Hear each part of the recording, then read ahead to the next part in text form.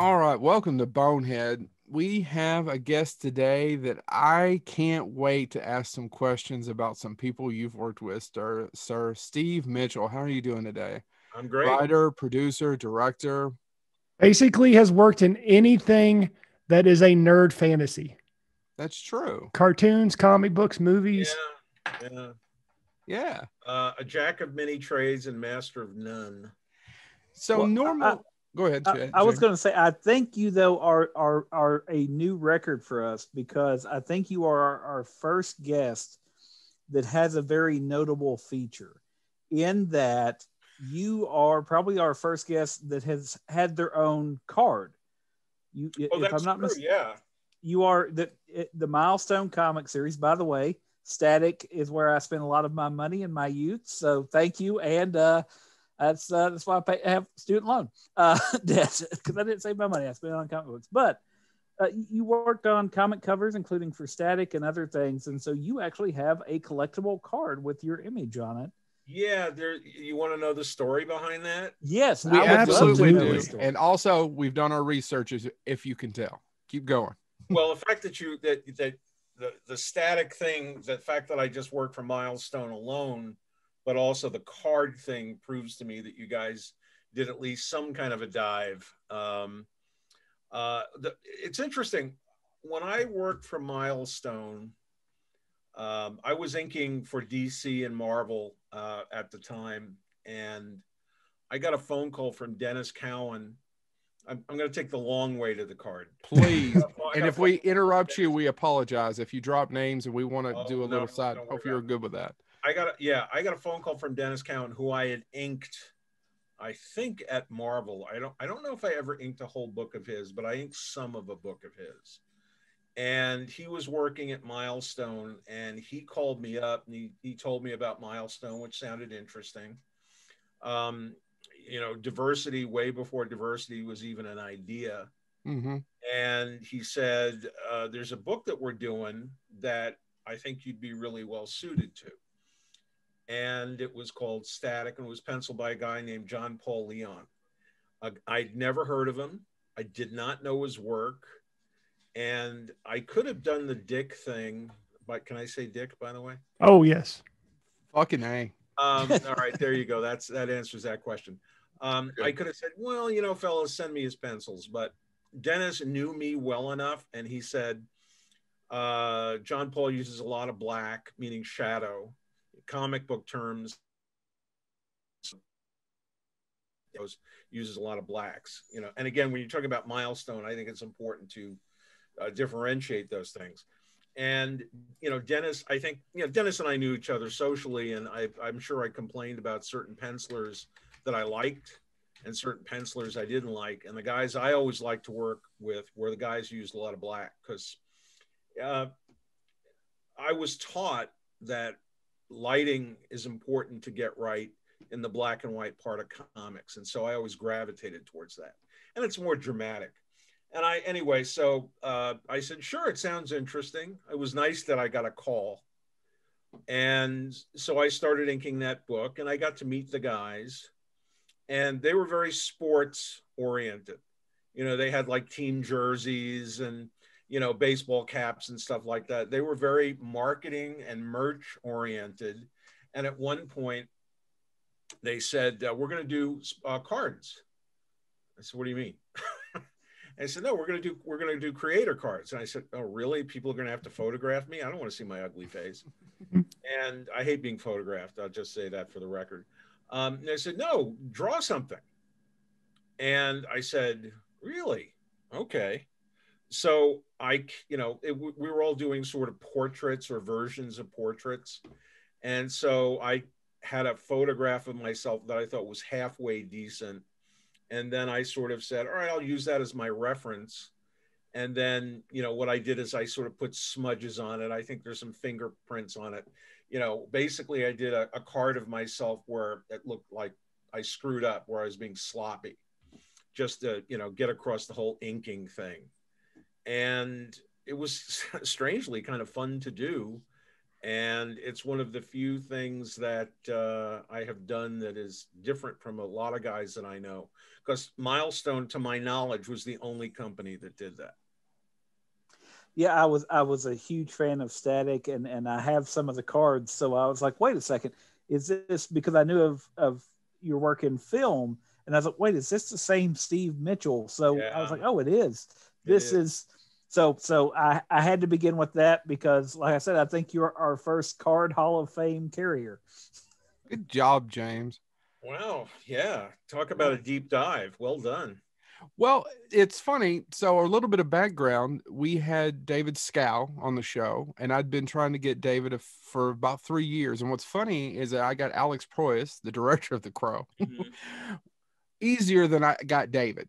I've even know people who know David who reached out on my behalf and he wouldn't do it. And then finally he said yes.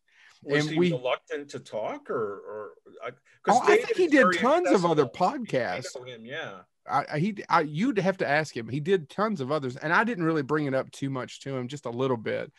Uh, there's another writer named Todd Farmer from Kentucky that took us three years to get as well. And I thought, oh, Todd, three years ago, that'll be easy. He's from Kentucky. We're from Kentucky. Bullshit. I got the director, Patrick Lussier, who was his friend first. Happened twice that way. But what I, I was trying to get to it is this happened really quickly. We usually have a little bit more time. So some of the questions I want to ask you may seem a little bit like the actor studio. I don't mean to. I'm just trying to get your frame of mind and how you ended up where you're where you're at. So Sure. where did you grow up and what were your in and not necessarily influences, but what was that thing that triggered it? Well, like we all have that first shot of heroin. Oh yeah. Well, I grew up in New York City. Um, I, I I I grew up in the borough of Queens, which Right. uh, couldn't be any more different than the New York you would associate with the New York that you see in movies. Yeah. Um, it was very suburban, and I always said it was a part of Long Island that got kind of stuck inside the uh, city limits. hmm And um, I'm not entirely sure why I became a huge comics fan, but I was a huge comics fan. I was a pop culture fan, even as a, even as a kid. I, I, I read comics. I watched network television, usually with my dad, and I went and, and I loved movies. Um, part of it was these were all things I could do on my own. They were sort of solitary uh, kind of things, but Yeah. I was totally uh, won over by visual storytelling. I know that makes me sound pretentious, but uh, I like being entertained. And you know, my dad, the greatest generation guy, was very interesting in that I grew up and he would say to me every once in a while, he'd look at the paper. Remember those? Yeah. Um, and he would say, "Yeah, you got to watch uh, channel or nine o'clock. There's a there's something good on." And my dad was a movie fan growing up in New York City. He went to the movies like everybody else did once a week. And so, even though the word fan did not exist, Yeah. my dad was a fan. And so he shared that in a very kind of non-fanish way. He said, You should see it, it's good. You know, he would he just would see these things listed and he would tell me that they were good. And my dad most of the time was completely right. And He had good taste. he had great taste. I mean, Yeah. he loved Warner Brothers movies. Uh, he was a huge Errol Flynn fan. Oh, Um, you know, it's interesting just the parallel between him and my between my dad and Larry Cohen, yeah. who I made a documentary about. Larry grew up in the same neighborhood my dad grew up. They weren't contemporaries really, but they had the same taste. I once said to Larry, I said, What studios do you like? And he said, I loved Warner Brothers. I hated MGM, which The Dream Factory. He hated the way. Dream Factory and he liked Yeah. the grit of Warner, right? but Warner's was snappy. It was Yeah. peppy. The pace and the rhythm of their stuff was fast, and my dad liked that, and so I like that too. But I also read comics. Um, I got a newspaper out to uh, to support my comic book buying habit. Um, and then because I was interested in comics, I wound up going um, to DC to DC Comics one Thursday because they used to have a tour the DC Comics Thursday after lunch tour. That's literally what it was called. Mhm. And you would be ushered with a bunch of other fans in these offices, and you would see editors look up from their work and they kind of go like, oh, the fans are here. I mean, I'm sure we were a complete irritant to to them, but it was a way to get in the door. Marvel didn't have that. I tried, but DC was the fan friendly company. And so that's where I met guys like Marv Wolfman and Len Wein and Gerry Conway. Um, and I just sort of liked, I, I had this idea. I think I want to get into comics. And I had sort of artistic, you know, uh, inclinations anyway. And then when I wound up going to the High School of Art and Design, which is this fairly famous New York high school where a lot of pros wound up going. Marv went there, Larry Hama. I think Joe Jusko was a couple of years behind me. Um, Ron Wilson. Uh, I think Denys may have gone there. Mm-hmm. To name a couple. Uh, I remember going over to DC's offices. They were uh, two blocks away from uh, art and design. One uh, one, I think it was an Easter vacation. I went to go pester people. I'm not entirely even sure why I did it. I just wanted, you know, you know how moths are drawn to the flame. Yeah, the- yeah. Stephen King tells a story about you know finding books that his father had ran off when he was young of, and there were a couple of Lovecraft books, and him hearing a story when he was younger about Jerry Lee Lewis singing a piano and didn't know what it was, but he had to get to it yeah, he had to well, get to those books. And then we all have the same thing. There's uh, my I can see it in my three year old, and I'm sure my friends can see it too. And because there's just certain things they're just drawn to, and they got to get so to it. I just like talking because I wanted to do it. I like talking to professionals. Yeah. And Sol Harrison, who was running the production department in those days, who I knew from the tour, guy was about five four. I'm six four. I tower over him he scared the shit out of me. you know, he was just one of these guys who strangely was in, intimidating. And I was at DC's office uh, again on an Easter vacation, and you know, he looked at me, he looked up at me, and he said, "Well, if you're going to be here, you might as well make some money. Come in tomorrow." I said, "Really?" And so I, I basically did two days of a tryout at at the on that vacation, and then they asked me back for the summer, and I was kind of now I, I had one foot into the business and uh, I kind of got in initially uh, through the production department uh, uh, route. You know, guys like Marv and Len and Gerry Conway. I'm assuming if you know comics, you know these guys. Well, yes. you were talking about Marv Wolfman earlier, and yeah. and my other two colleagues here are the bigger comic people. But I got to uh, moderate and interview Marv a couple years ago, and he just couldn't. He's actually one of the best storytelling comic book people I've met.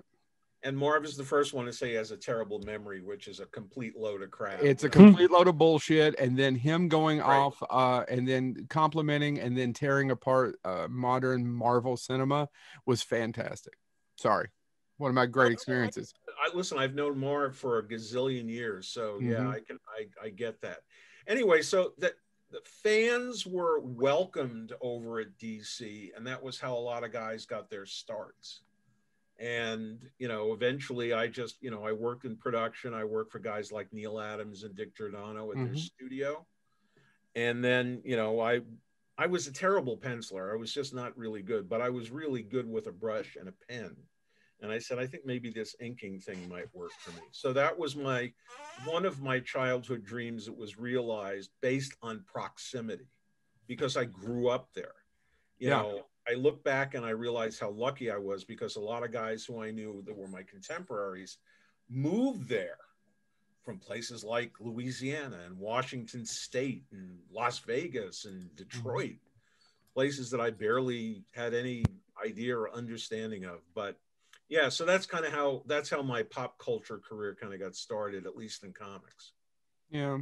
So what were some of the do you remember is there a specific movie that just kind of rang your bell? Because i oh, mean oh, yeah yeah yeah because you were talking influences um that's okay i was just curious if there was one of those that you know most of us have one that i, I can't well, think of a better way to put it than just rang your no, bell. No, you it, walked out and then you're just in love. I, I totally get that and again this was a thing that my dad turned me on to and it's the the thing from another world, the uh, the right. Howard Hawks version. My favorite movie of all time. I literally have seen it at least 300 times.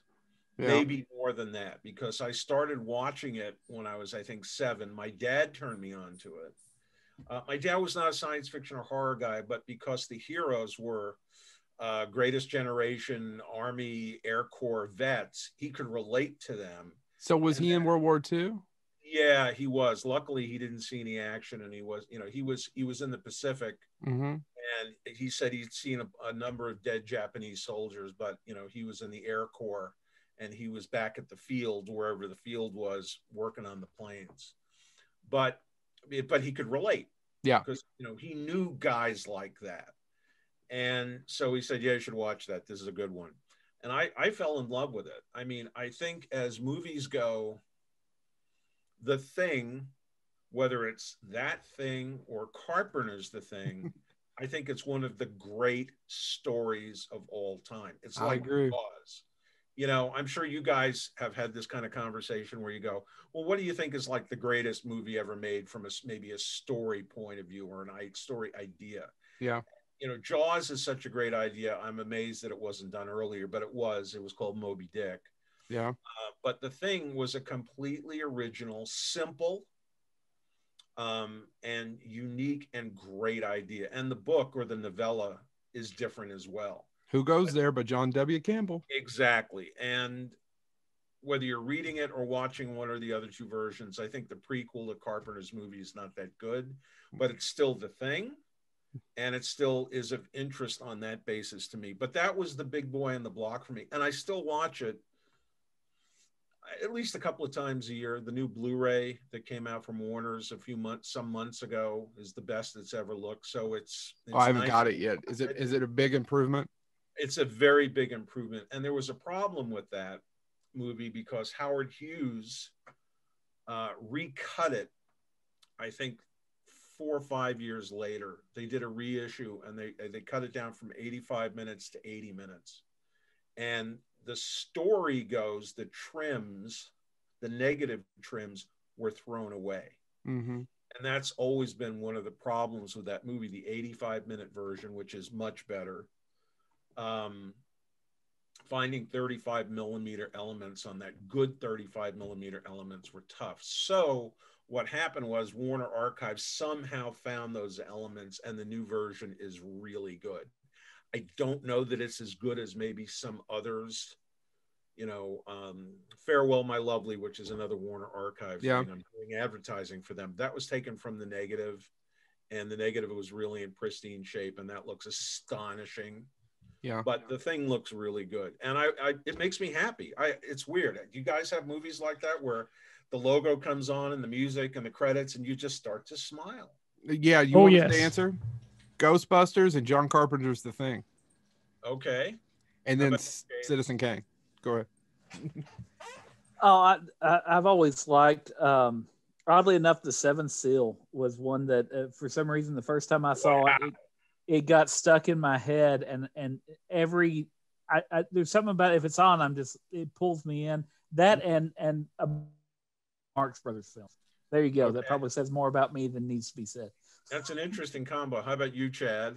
Uh, so uh, uh, partially Ghostbusters, but honestly, I uh, as you'll see some some of my questions, I'm a huge animation fan, Okay. and Who Framed Roger Rabbit is one of my favorite movies. So every time that that opening comes on, I just get I just get gleeful.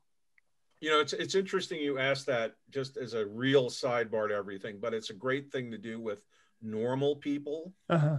Uh, is ask them what's your favorite movie, not the best, not the greatest, but your favorite. And I was with a couple of writer friends one day at a restaurant here in Los Angeles that I that we used to go to a lot pre-COVID for lunch, and they have a lot of actors, singers, dancer types as the waiting staff. And I turned to the, we had we used to have this. Uh, she was very adorable Asian uh, waitress who was there usually when we went because we went almost every week.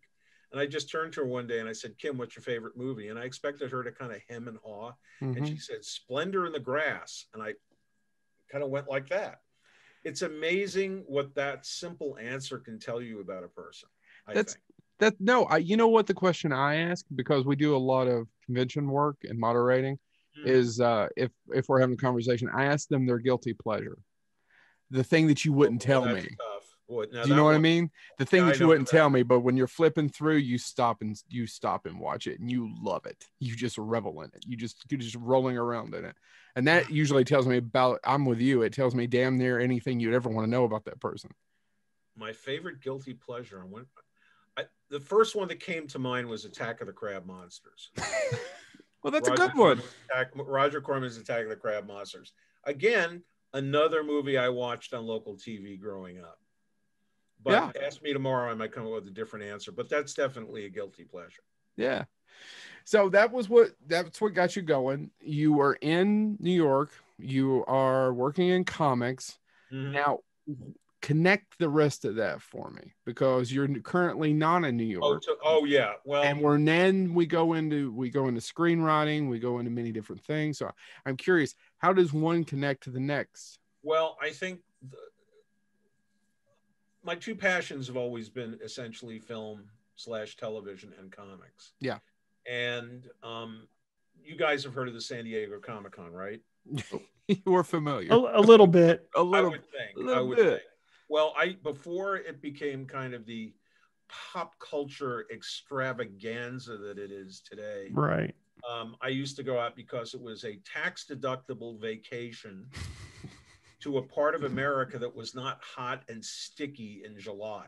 and one of the reasons why that I think that convention got great support from the comic book business is everybody. I don't know if you've ever been to New York in the summer, but the answer, my my my simple statement on that is don't go.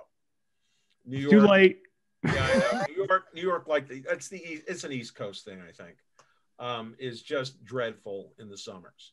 So I started going to San Diego before it even became a thing, and then I had a buddy, my friend Jim Wynorski, who's uh-huh. may who's been on the show. My old buddy Jim, who I knew from conventions in New York, from fan from in fan circles. Uh, he lived in Los Angeles, so I go to San Diego and then I go up to L.A. And I kind of, I mean, I love New York and it's part of my blood, but I really liked being in Los Angeles. And whenever I went there, I always had a good time. And then I started to think because New York was falling apart in the 70s and the early mm-hmm. and the 80s. And I said, you know, maybe I'm done with this. And, you know, Jim kept saying, I mean, he used to call me, he says, when the hell are you going to move out here? When are you going to move out here? When are you going to move out here? And because of fe- things like Express Mail and Federal Express, getting my material to New York was not a problem. You know, used to be you had to live in New York or, the, or we, we call the tri state area Mhm. um, because of delivery. I mean, you had to literally be able to deliver your work in, in a day. So, a lot of the pros, and this is not only in comics, but it's also in magazine and book illustration. All these guys live in either New Jersey or Southern Connecticut or, or Southern New York State, the island or the city. And well, once overnight delivery became a thing, I didn't have to stay there. And then I just decided, I think, you know, I had to convince my wife to do it, my then wife. And I said, you know, let's go to LA. When we got married, we had gone out there on a, um, I guess it was sort of a honeymoon trip. We didn't Mhm. just go to one place, we went to a number of places, and she enjoyed LA. And maybe later I'll tell you the how I how we saw Star Wars be- before two, you know everybody else did the original Star Wars. Uh. Um, but we had said, okay, LA, okay, and I was a I, I wanted to try and do work in film. Pardon me. I wanted to try to do work in film, but I knew I had comics as my fallback.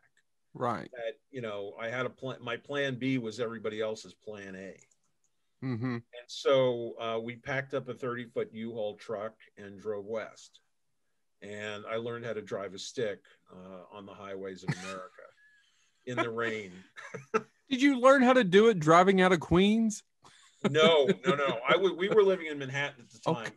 And strangely enough, my wife had to drive the truck out of Manhattan because I, I, I, because it was a stick, yeah you know, and and you So- grew up in new york I did. But the thing about growing up in New York is if you live in the city, you don't need a car. That's what I'm saying. You grew up in New York. Now I grew up in a we grew up in a rural area, so I knew as a child. But I completely understand. My first r- roommate in college was from the Bronx. Yeah, there's no reason for you know how to drive a, a four or a five speed or anything like that. My oldest friend in the world, my friend Gary Gerani, who I went to high, art and design with, who was the co-writer of Pumpkinhead, and he wrote Vampirella mm-hmm. for Jim. In fact, uh, he lives out here, and he still does not know how to drive. He never learned in New York, and he never learned after he moved out here. So you know, old habits. But yeah, we we sort of struggled to get the truck across the George Washington Bridge, and once we got to New Jersey, it sort of worked out. I'm sorry, Chad's going to say something. Oh no no no no no! You go you go ahead.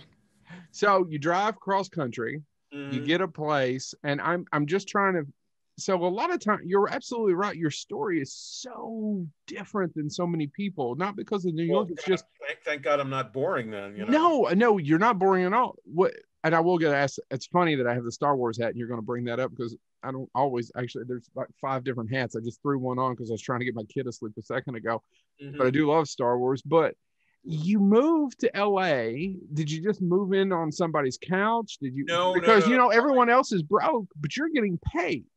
Well, what I did was this: is we had sort of decided prior to a Comic Con that this was going to be the plan.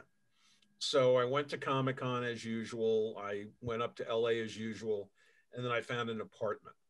Mm-hmm. And so I had an apartment to move to. Yeah. And so we took the Hindenburg, which was my nickname for the for the truck. It was 30 feet long and my wife and I, you know, just we had a destination. You know, it wasn't like, well, who knows where we're going to wind up. No, I had a destination.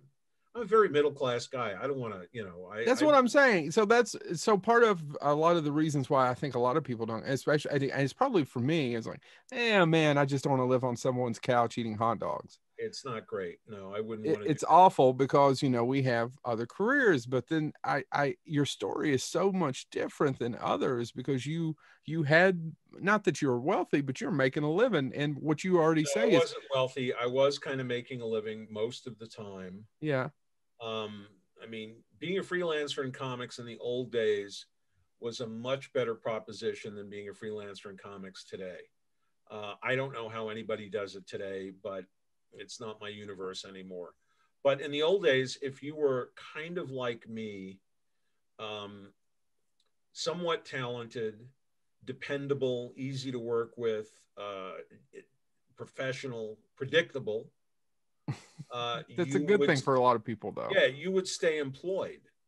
You know, um, the other thing, I wasn't overly picky about what I took because I didn't want to hang up an editor at one of the companies. I mean, some I, I trust me, there are a number of jobs that I've done in my past where I go, God, why did I take this? God, why did I take this? God, I hate doing this. God, I'm wrong for this.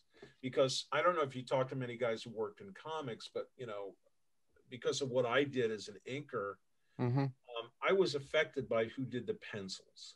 Yeah. And I think that great penciling and inking teams are what I would also call great casting. And there were some guys that I was not well cast to. I'll be and I'll be the first one to admit it. And then there are some guys I was very well cast to, like John Paul on Static. I think mm-hmm. he and I were were a good fit, you know, as an example. Um, but yeah, I had a plan that was i mean again i was married if i was single i don't know if i would have done it the same way but i was married at the, at the time and I felt that it was important not to sort of make my wife go through so, some sort of bohemian ritual where you have ideas about. So yeah, that was the plan. And oh. then. Do you want me to keep going with like how did I get into the film and animation? No, business? no, yeah, but or before you, you go, you separate questions. Before you go, James has a question, but I have. How'd you get into Star Wars? How'd you see the early sneak peek? Oh, very simple. Uh, Howard Chaykin was drawing the adaptation of Star Wars, and James is all excited. Yeah, studio. Ah, it's over here. I've got a copy. and and seeing dozens and dozens of stills from this movie, and I said, "What what's what's the deal with the stills?" I think at one point he said, "Yeah, it's for this George Lucas thing called Star Wars," and I was looking at it, and I said, yeah, it looks kind of interesting, you know, because I was into science fiction and stuff Yeah. like that. So the set, there was no no effect shots at all of the of the the spacecraft or any of the, the dog fights. But you know, you could see the sets, you could see the weapons, you could see the props. And I said, well, that looks interesting. So when, as I said, when I got married, we went on this West Coast trip. And Chaykin said, when you get out to California, call this guy over at Lucasfilm. And I called him up and he said, Hey, would you like to see the movie tonight? and I said, Yeah, sure. Because it's not Star Wars yet. No, it's not Star Wars, but here's the reason why I was interested and my wife was especially interested. Yeah. Was because it was at 20th Century Fox. Oh, it really? was at the Darryl F. Zanuck Theater on the Fox lot. Oh wow. So as a movie guy, I'm going, Fox lot. Okay, this could be the worst movie ever, but I wanted to go to the Fox lot. So we go Yep. there, we drive up, we park, we go into the theater, packed. It was packed. And, you know, the place was kind of a buzz the way all screenings are. And then the lights started to go down and it got quiet like that. Hollywood audiences are very polite. And so then all of a sudden, you know, I think you had the uh, 20th Century Fox Mhm. logo, and then you got the, you know, boom Yep. with John Williams music, and you know the the legend comes up, and I'm going, well, this is interesting. And then, and this is pre Dolby Stereo for most of the world. Yep. This theater had six track stereo because it was also a mixing theater all of a sudden you have the, the, the first spacecraft comes overhead and you're sort of hearing the sound go from the back of the theater forward with it Uh huh. and you go well that's impressive and then the star cruiser follows that and there was a gasp in the theater people were gasping and then we saw star wars and everybody walked out of the theater and i knew it makes me seem like i know I'm, i was being prescient but No. I kind of felt this way that movies were now going to another level. They, that that movies, as I knew them, were ch- going to change. Yeah. And I have a feeling that anybody who saw that movie for the first time had a version of that. But again, I'm seeing it in the perfect environment in terms of picture and sound. Um, you know, in New York, especially in Manhattan, stereo was kind of a thing, but Mhm. not in every theater. And I'm sure a lot of people saw Star Wars in mono for the first time, but I Mhm. saw it in six track stereo. And even my wife, who doesn't really like this kind of stuff, she kind of went, that was really cool. and so I had seen Star Wars two weeks before the rest of the planet. And wow, what a what a treat. What So fo- so follow up question: yeah. Did you by chance the movie? Sort of, the answer is sort of. I said to my I said I said to my wife, I said, Well, I know where the car is. Well, let's kind of take maybe a longer way to it if we could. And you know, a, a, a studio lot is kind of weird. It's sort of very boring and fascinating at the same Mhm. time. Yep.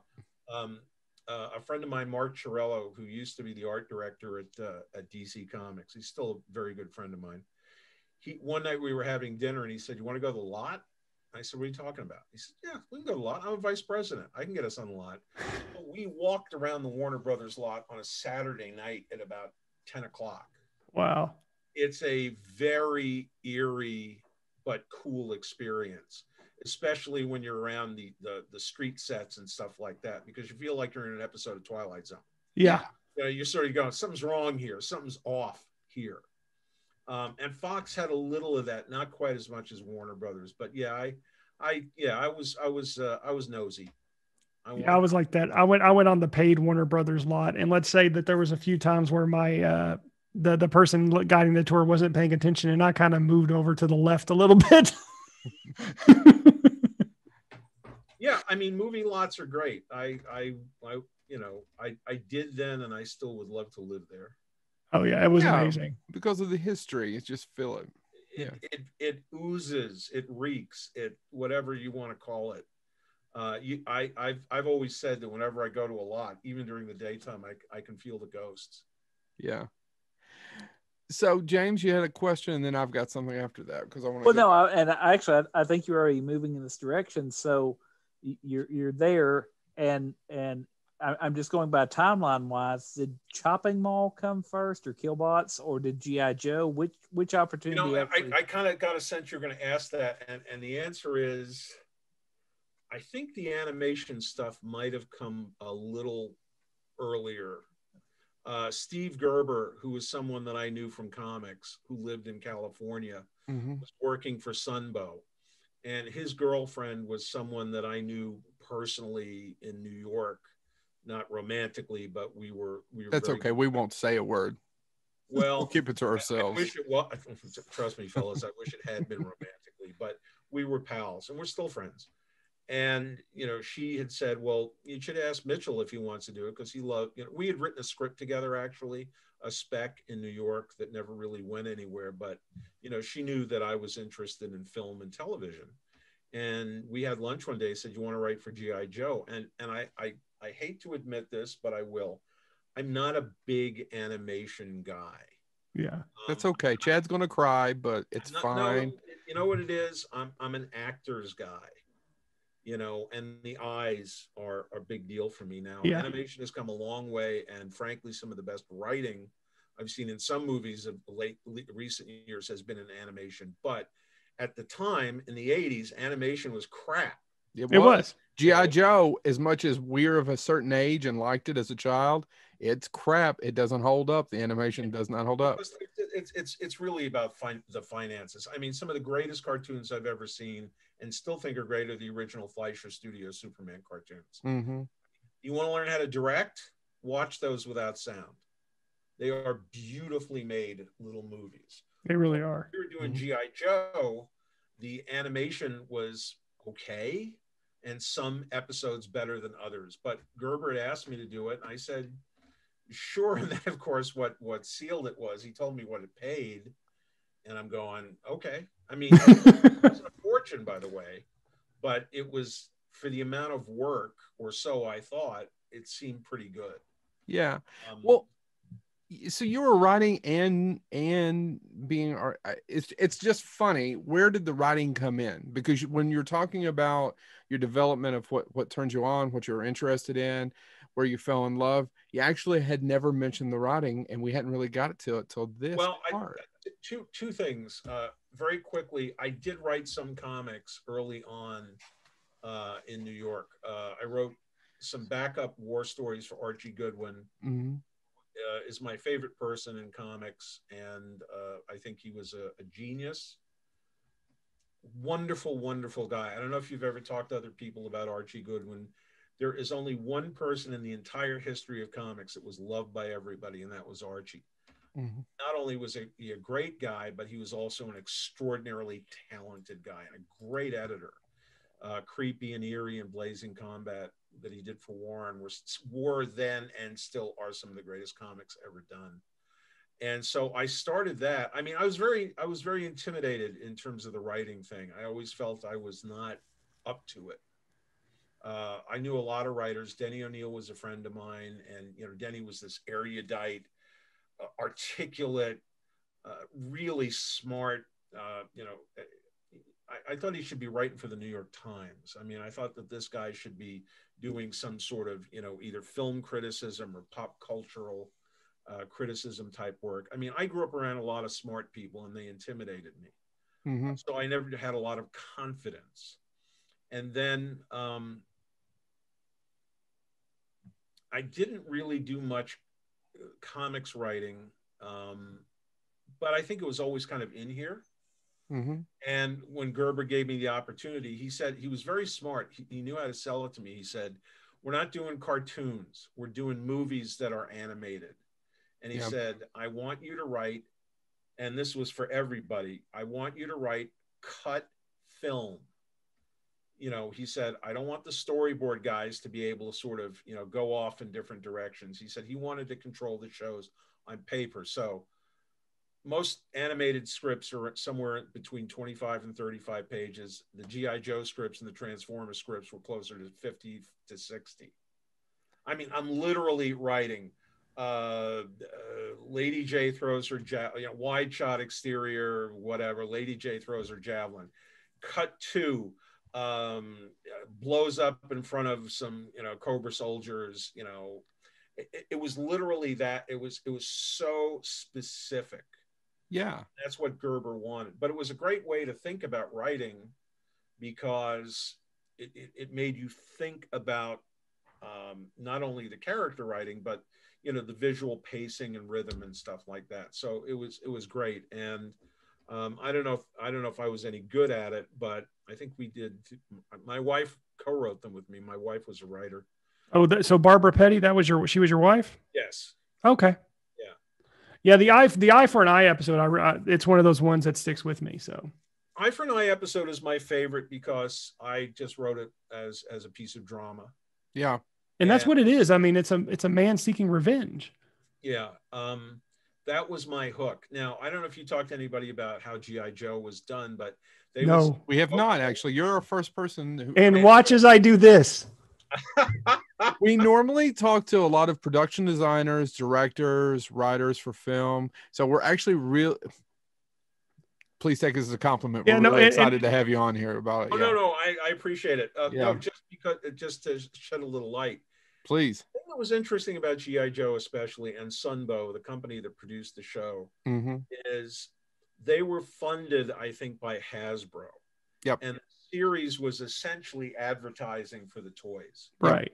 So what they did is that they broke down the toy line. I'm, I'm imagining to where every episode had to feature at least X characters and X toys.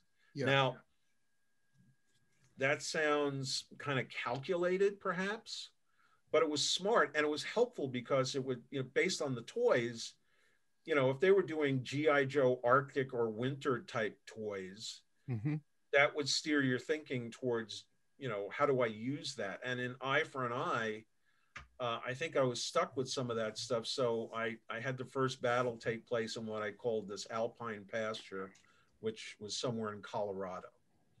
And and that it was actually more helpful than not to be told what to use because there are a lot of toys there are a lot of Mhm. characters hmm um, the other thing that was great about working for for Sunbow and GI Joe and stuff like that was there were no restrictions on action. You couldn't kill anyone, but the chaos and the mayhem in the cartoons were the same as any episode of the A Team. Yep. You know, Actually, it was a lot more violent it- well, it is. I mean in that said- sense of explosions and things because I didn't notice it. Once again, not to, I didn't notice it as much till, and Chad and I've talked about this till we show, like, I showed it to my son. And I was like, oh shit, I turned it off. there's a lot he- of destruction. there's a lot of destruction and, as long as the bad guys can run away, yeah, we were okay. And I said to Steve, I said, hand to hand combat. He said, well, you can't have somebody kill someone with a knife, but you know, anything that's like judo or karate or anything like that was fair game. So it, it was very liberating not to have those kinds of network restrictions. Um, I wrote, I think, one or two GI Joes after it left Sunbow and it was on a network. And I was literally told you couldn't have someone pointing a weapon at someone. hmm I said, "How do you, it's GI Joe for crying out loud?" You know, that's why we're paying you. Figure something out. Um, but but the Sunbow stuff was great to write. Um, it was it was actually fun. Did Yeah, they? and that's why sorry, but that's why like th- those cartoons stand out in terms of 80s cartoons because they and I'm glad I heard about the 50 pages because that explains a whole mu- a whole lot because those cartoons play differently than the other cartoons that were on the air. I could list I could go off and list them all. I'm not going to. Our audience has heard of me talk for 3 hours about cartoons. but but yeah, it was it's it's I just found that fascinating that that's how those were structured uh, because those GI Joe and you know on the real Ghostbusters, those three stick out on in the way that their stories were structured. That were Are you are you saying? yeah, Transformers. GI, I meant to say Transformers, GI Joe, Yeah. and the real Ghostbusters all They were- seemed structured differently. They were dense. I think. Mhm. I, I think Steve wanted to try and pack in a lot of story into those. Were they about twenty two minutes? Yeah, 20, 22, 23, yeah. 22 and then they do those five part specials sometimes where you were basically getting a movie a long Right. movie yeah and and listen, they were they weren't stupid. They I'm sure they were releasing those as theatricals. Um, I don't know if they did that internationally, but I don't know either. Yeah. but it be that as it may, they were very smart, and it was a good place to work. There were a lot of great people there, um, and uh, I know that Gerber. I think Gerber shortened his life by working so hard and working like a Yeah. 75 hour day but he was very dedicated to doing really good work. And i think you know even though the animation always wasn't great um, they're pretty good cartoons. They're you know Oh yeah. i remember watching them and going yeah this is better than average. So that's the first half of the que- uh, first half answer to the question. And then while i was kind of doing that i also uh, uh, i got an opportunity to work on chopping mall Yeah. which at the time it wasn't called Chopping Mall. Now, do you, have you guys ever seen the Blu-ray, the the Vestron Blu-ray on that? I have seen parts of it, sir. I don't know if I've seen all of it, but we're familiar with Kill Killbot, and we've had Jim on the show, Okay. and he's talked Yeah, about. Well, he talked a little bit about it. Well, you're friends with Wynorski, right? Yeah, I'm sorry. I said you're friends with Wynorski, right? I am friends with Wynorski. So I have a before you get into that, real quick. I want to ask one more GI Joe quick, real real quick. So did they give you the character Bibles on each one of those characters, or were you allowed to make up a lot of the history? they, they gave us a, a lot of material. Okay, cool. I was It just was- wondering because I was sitting there going, hmm. It was it was almost intimidating, and and one of the things that I I tend to do is I tend to be uh, my buddy Michael Hill, who I met uh, when I worked on GI Joe. Uh, he said, "You're lazy," and I said, "No, I don't want to be distracted. I only want to know what I need to know." And there, you know, they gave us a ton, a, a ton of reference, but you know, you have to sort of figure out the story and then go from there. Okay. Um, there wasn't any real continuity, as far as I recall, that I had to adhere to. So that was again liberating. I'm so sorry. I just wanted to ask that before we moved on. So back to back to Wynorski, and you were saying about the uh about Killbots and Chopping Mall. Well, which yeah, is the same uh, movie for everyone out there if you've not was- seen it. I think I was inking. I was I was in my home studio inking, and Jim called up and said, "Do "You want to go out and have coffee and talk about movie or something like that?" And I said, uh, "Yeah, sure." And we went to a place uh, not too far from where we both live, where we could get coffee and pie, both very important. And he said Yes. that that Julie Corman approached him to do a movie for Vestron Video and Vestron wanted a teenagers being chased around a shopping mall by somebody with a big knife. And I said, okay. I mean, let me tell you something. That genre got really old for me as a viewer really fast. Yeah, right about the time Halloween 2 played out, probably. I was somewhere in that Yep. vicinity. Listen, I loved Halloween. I never really liked any of the Friday the 13th movies. Um, it's not like they weren't good for what they were. I just, you know, I Carpenter kind of spoiled me, I think. He did everyone. And, and um, but you know, a chance to write a movie and a chance to get paid. Of course, it was for the Cormans, not to get paid a lot, but you know, Mhm. it was different and it was something I was interested in doing. Um, so we went and we kind of stumbled our way through some sort of idea about a phantom of the mall kind of thing. And this is a fairly famous story. And we were sort of satisfied with that. And then Jim said, why don't we do it with killer robots? Yep. And so I'm sure I did, you know, I kind of got a little bug eyed and sort of did the okay thing. And we sort of threw everything else out and then retooled it and put together something that was half outline, half beat sheet because Julie wanted it overnight. The Cormans, Cormans, I think, always felt things could be done quickly and sometimes they can and sometimes they can't but we managed to get something on paper and literally fellas we had a go picture in a week Yep. no script jim and i wrote the script in an empty office up at corman's offices uh, in brentwood So I this is a before we get into back to back to it, I want to ask you, Mhm. out of the three of us, James is probably the more subdued than Chad than me. and I we've interviewed Jim. We have a few stories about Jim before and after the interview and with the interview. We had a good time. I'm you two you you remind me of a little bit of our relationship of why would they be friends? One of them is soft spoken and nice and kind, and the other one's Jim Wynorski. and he was Well- great to it. We we got a lot out of him. He's a lot of fun. The, the difference is is like, oh, I would you earlier you were talking about someone and you was like, well, I, she was a lovely person. Oh, I wish I could have been with her. And Jim started out with, you can ask me about her. I fucked her. Mm. Well, She loved it.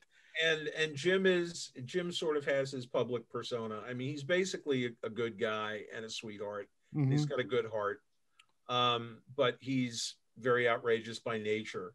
Um, why are we friends? Well, we liked all the same stuff. His favorite movie is also The Thing, Mhm. and we we have film music, uh, a, a deep passion for film music in common as well, and we had sort of the same taste. I mean, uh, Jerry Goldsmith has always been my favorite composer, and he's Jim's favorite composer. Morricone is a close second, and all the other great guys, the greats, are all you know. We love them too. Uh, so we, we always had a lot in common, even though we're different kinds of guys. We have different rhythms, but somehow, um, you know, we were we became friends and remained friends for decades. That is fantastic. Yeah, yeah, I'm very lucky. I have a lot of friends who I'm I I I've stayed in touch with, and I'm very very fond of. Um, you know, maybe if I had a family where I had six brothers and six sisters, it wouldn't have been as important to me, but that's not the case. Um, But we're the same way. yeah, and and again, when you when you, I'm sure you guys know this as well as anybody. When you meet somebody who's a kindred spirit, where you speak the same language, you tend to hang on to those guys. Or you're just stuck with them in our case. But well, yeah. there's that too, right? Yeah. And anyway, so we we got a chance to make this movie, and um, I always think of Chopping Mall as me going to grad school. I mean, I did go to film school in New York at night, and um, I took a sort of certificate course, but and we did make stuff, but this was more my version of USC Film School because we were there from the, the literally the inception all the way down to the end. And i literally was there for every step of the movie. I was on set every night. Um, well let, let me go let me backtrack a little bit. Yeah. um, we wrote the picture at rogers um, and one day for lunch we and, and again i don't know if, if this is old hat or not you No, just- no. Well, I think our audience. I know you're probably tired of telling some of it, but I think our audience. I just would don't love want to to be hear it. repetitive to people, but You're not being repetitive at all. Yeah. going. Anyway, so Jim and I are going for lunch at this place around the corner from where Roger's office was. And as we're going in, Robert Short is walking out. Now, I didn't know Bob, but Jim did. And Jim said, Hey, Bob, have you got like a half an hour? because we may have a project for you. And Bob, not being a dummy, of course, is going to, you know, say, Money, work? Why not? Because that's how things work in, in California. Yep. So we went, we ordered lunch, and we told him about this nutty movie that we were doing. And Bob had won an Oscar for practical effects. Bob was essentially a practical effects producer. and I think he may have won something for either Beetlejuice or Splash or I, I don't remember what, but Bob was, you know, this is the analog days, fellas. You know, Mhm. things had to be made. And so we told him this crazy idea, and he says, Well, it sounds like fun. So I had I did one of the early designs for the robots, and my design is kind of a combination of what what would the spawn of Darth Vader and a Sherman tank look like? and that was one of the first ones. And it was at I to be kind to myself, I would say it was okay. And then a couple of other guys had come up with other designs, and they were better, but they weren't. You know it when you see it. Yeah. And then Bob came up with the design, and we all went, "Yeah." Especially the head. Yeah. You head had that sort of evil manta ray kind of look to it, and we were we were totally down for it. And he just basically went out and made the robots while we were finishing the script. And then I don't know if Jim told you this, but um, we did the casting on the movie. There is no casting credit. We cast it. I don't think he did tell us that, did he, guys? Yeah, he, re- he really didn't talk about it too much. He didn't want to talk about Well, he's that. done a lot more projects than I Yeah. have. But Chopping Mall was very significant to me in terms of when it happened, Yeah, experience of it, and we saw every, you know, actor in town that qualified as a teenager. Mhm. You know, they could have been 30, but they could have qualified as a teenager. I think Ben Stiller read for me one day, and I gave him a little piece of directing. I said, "Can you make it a little darker?" And and he just really went really down into a very dark neighborhood. It was the scene where uh, um, Susie gets killed, and they're in the restaurant licking their wounds, and he went really dark to the point where I was almost a little scared. But I also realized that this guy's good, and he went on to sort of you know prove me right yeah. but we, yeah, we saw we saw guys. I got to tell you, we saw so many hot babes. Uh, it was very hard being a married guy. Uh, during, during that process, I got to tell you, um, Hollywood can sometimes be very distracting. I can imagine. And you know, uh, did he talk about how Kelly got the part? I no, he really. I don't Okay, remember. He I'll- barely. I'll- I'll- he I'll make it barely glazed over it, right, gentlemen? Right. Yeah. I found that Julie and I had similar taste uh, in actors. Mhm. but Jim was the director and Jim was my friend and he got me he helped get me the job so I I made a decision where I'll fight for something that absolutely has to be fought for Mhm. otherwise it's you know I'm there to serve him Yep. and to serve the project and so he wanted Kelly right from the beginning because I think he had seen her in Night of the Comet Mhm. and I liked Kelly, but uh, Dana Kimmell, who I don't know if she's related to Jimmy, Mhm. but Dana Kimmell, um, who was Chuck Norris's daughter in Lone Wolf McQuade, came in, and I liked her in the part. Yeah. Pardon me. I liked her in the part. Julie liked her in the part, but she wouldn't kiss anybody. She didn't want, you know. I think that she had kind of a a, a somewhat conservative uh, Religious background. background. I think so, yeah. Yeah. And she didn't want to kiss anybody, and we weren't asking her to get naked. We just were asking her maybe kiss Tony O'Dell, Mhm. and she had good chemistry with Tony because they read together. And uh, Julie and I both liked her, and but when she wouldn't do that, Jim just said, "It's Kelly. Let's get Kelly. Come on, let's sign Kelly. Kelly's great. Let's go get Kelly." And we did, and Kelly turned out to be great. You know, Kelly, I think in many ways may have been. Um, a, a gift for us because for some reason I, I've thought about the movie with Dana in the part, and I don't think it would have been as good. Yeah. But I liked her in the casting, and we were very, very, very lucky with the cast that we had. Um, they were all really game. They were all fun to work with. Uh, John Terlesky. There's a funny story about John. Is he came in and read for us. I liked him. I had seen a TV show that he had done called uh, Legmen. Uh, I think they did like six or eight episodes on NBC and Uh-huh. but I, I saw him and I said, This guy's good. And he came in and he read for the Russell Todd part, but Jim wanted Russell because Russell had been in uh, Where the Boys Are 84. hmm Typical Hollywood, even with Jim. He's like, Oh, he was just in a movie I saw. Yep. So I said, well, okay, why don't we give John this part? You know, like, I mean, it's a consolation prize, but I liked John. And I don't know how he got my phone number, but he called one Saturday morning at about 8:30, which was really early for me because I almost never went to sleep before four. I've always been a night owl. Well, you're an Um, artist. You, you, I'm sure you work at night too, right? And then I need a couple of hours to watch movies afterwards. Yeah. when I'm done. And so I get the phone rings and I go, hello. And he goes, Steve? Yes. John Terlesky calling. And, and it was very earnest. I'll never forget that, even though I was half asleep. I said, John, hi, uh, what's going on? He said, well, I, I appreciate that you guys gave me this part. And then, you know, I was talking to my agent. He said, you were going to, I was going to play, uh, Gre- is it, no, it wasn't Greg. I can't remember his, the character's name, but um, but I read for one part and I didn't get that part. Uh, could you please explain to me what happened? And I said, well, it, the part you read for went to somebody else, but I liked what you did.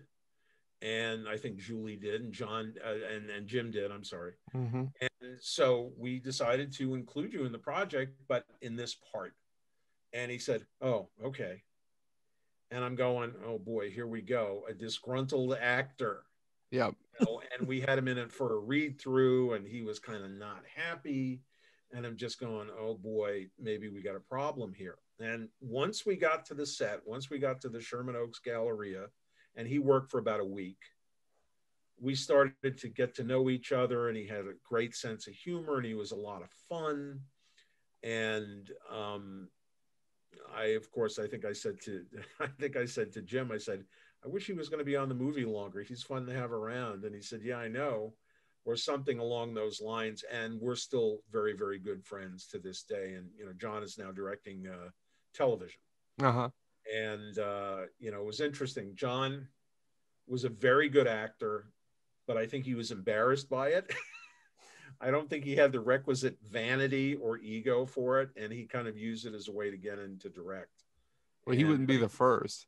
No, we and not and certainly not the last, but he was a very, very good actor and fun Yeah. to be with. They were all lots of fun to be with. Go ahead. Go ahead. No, It's no, you're recording. oh, you're recording now. Was Hey, Oh, we're was- stopping now. We'll finish this up next week. See you then. guys Yeah. was open paren, not was closed paren. Anyway, back to what we were saying. That was Mr. Mitchell. He was nice. He gave us candy and told us he we were his favorites. We actually will be finishing the the interview with him next week. We got a lot of content, and we'll be actually looking at, amongst other things, his documentary work, King Cohen, about Larry Cohen. And if And you've if- not seen that documentary, you have until we get to next week. It is available. The Blu-ray is out now. You can get it. Also available on Tubi. Absolutely. Get on Amazon, buy the Blu-ray. And if you're really sweet and nice to us, we may actually do a part three with him. So next week, part two, Steve Mitchell. Tune in. Was open paren, not was closed This is an inside joke that none of them get. I Well, if they would say- get on the floor and do the dinosaur, they would be with us. And this has been Bonehead Weekly. if you pick up all them dinosaur bones, you're going to get dinosaur.